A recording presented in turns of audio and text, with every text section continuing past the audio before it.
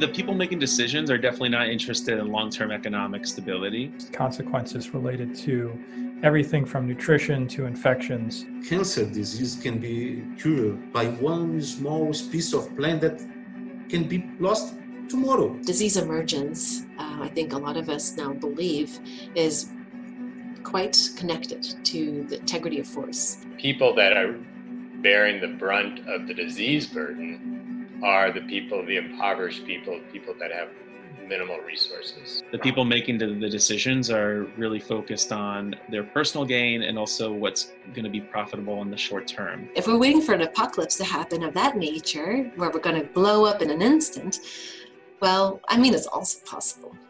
But I think we're actually slowly killing ourselves right now already. It's more than time that we as human beings uh, start to change this way to use the nature. We are not the owners of the nature, we are part of that.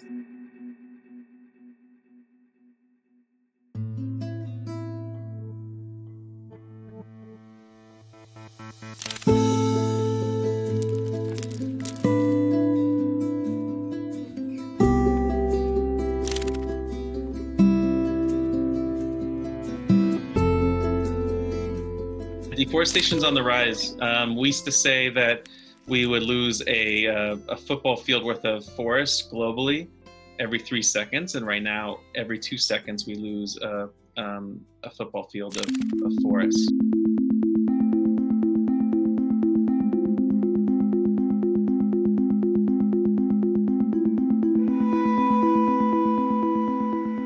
So deforestation is chopping down trees, and it doesn't particularly matter whether that's in the tropics or you know in New England or in Canada or wherever.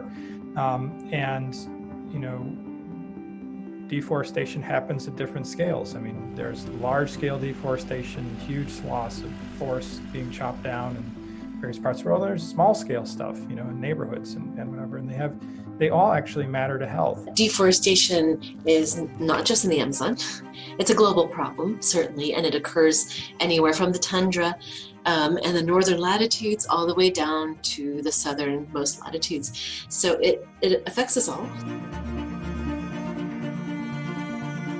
I'm in the middle of the Amazon. I You're live in in, the the middle. Manaus City. Manaus City it's a, a 2.5 million uh, peso city on the on, on the middle of the Amazon. In the Amazon, generally we have different kinds of deforestation, but they generally start with uh, a process of degradation of the forest. The vast majority of the timber extracted in the Amazon is illegal.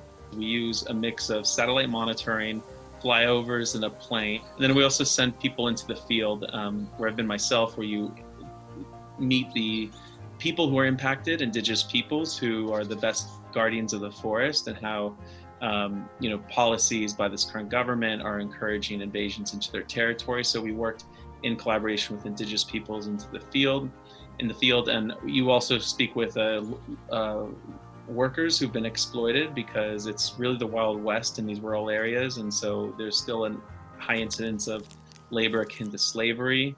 Um, so you see a, a human impact that's really heartbreaking, and how the um, industrialization and converting this, you know, this this pristine, critical ecosystem into um, industrial scale agriculture, and how that's impacting um, the locals there. It's it's pretty heartbreaking.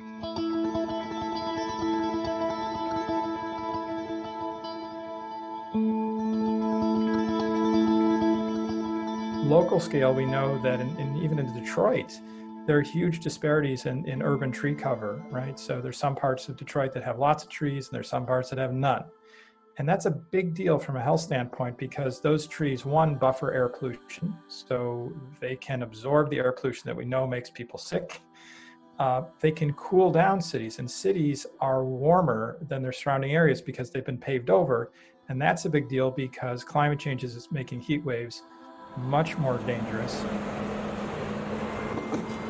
Humans, we alter our habitats as we move into the, our habitats, as we create cities, as we create um, suburban, you know, neighborhoods, uh, villages. Uh, we also alter the flow of water, the hydrology of places. Um, we alter the climate, don't we? And as such, um, we are creating essentially innumerable changes in our environment, and some of them actually cause some diseases to vanish. You know, it's not all increases, some do vanish. Um, and on the other hand, we are also allowing for species that are very well adapted to, to change, um, like rats, for example. You know, we're creating a lot of habitat that they're able to move into. So by doing that, we are favoring both insect species as well as uh, mammalian and vertebrate species that are very good at adapting to new circumstances. And those species, as it so, turns out, oftentimes invest more in breeding a lot, creating a lot of offspring, as opposed to maybe investing a lot in their immune system. Um, and so now, you know, this is um, not well proven ground, it's a theory, but one could say that these species that are so well adapted to um, to they're generalists to moving into these new kinds of habitats um, and do not invest much in their immune system, then may be more permissive to carrying viruses and other pathogens. So zoonotic diseases are diseases that um, are often maintained in non-human animal populations. And there's what we call spillover events, events in which uh, pathogens move from those animals to, into humans. And sometimes humans can't transmit those pathogens, so they, they can get sick because they were in uh, Lyme disease is a good example of that, where they're in contact with ticks in in in different uh, regions, forested regions, and um, they get sick. They can't transmit the disease. Other pathogens that you might get from uh, livestock, for instance, um, salmonella or E. coli, you get sick by eating contaminated food.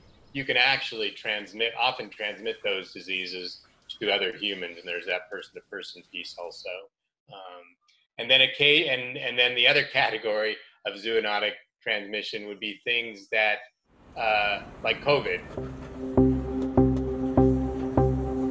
We think that COVID emergence happened in a similar way that SARS emergence happened, and, and some often avian flu occurs this way, and that's um, in the wet markets in um, Asia and China largely, where um, uh, people are selling um, wild animal for um, food, and and so there's this density of animals, density, and these markets are highly, very dense, and that's where often spillover occurs. Connecting dots right now couldn't be easier with coronavirus and wildfires and hurricanes.